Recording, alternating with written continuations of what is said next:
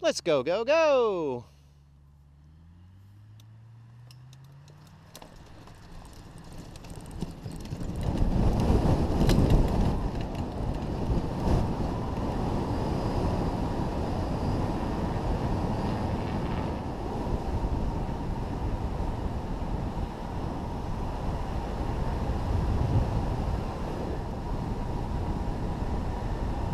Alright.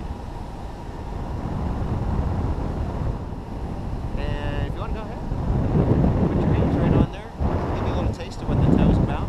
Go ahead and pull back just a little bit. Look at the tug out in front of you. So watch the tow plane, go ahead and pull in, keep pulling, a little bit more. See if you can get the horizon. So pull back. As you're pulling back, we're losing altitude relative to the tug. And there, now you can look out ahead of it, and there's the horizon. That's where it's supposed to be. And you're basically towing the hang glider right now. So, all right, you can relax. I'll take it from, here on up. You can enjoy things. Hey, what's that? Oh, I guess we're here. we're here. Off we go. There goes Nutman. He's crazy. Like I said, you got the questions, I'll make up the answers.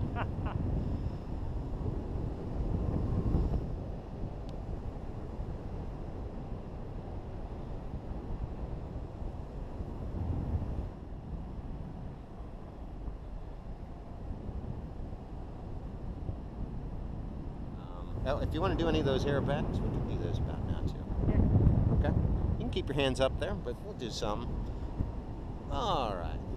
Yeah, we do something like stall and pick up some speed.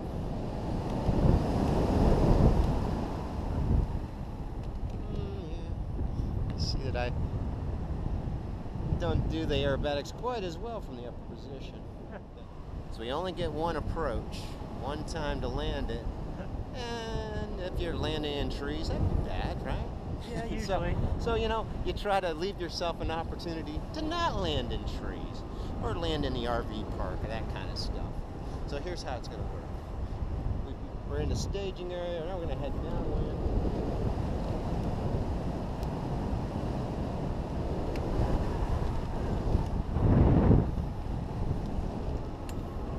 Hey.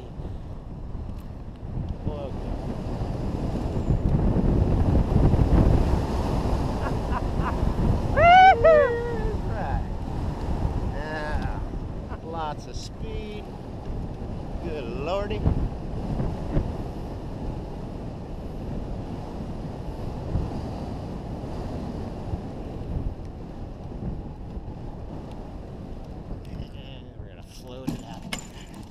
go. Yeah, she wrestled me a little bit on the way down there. Exciting.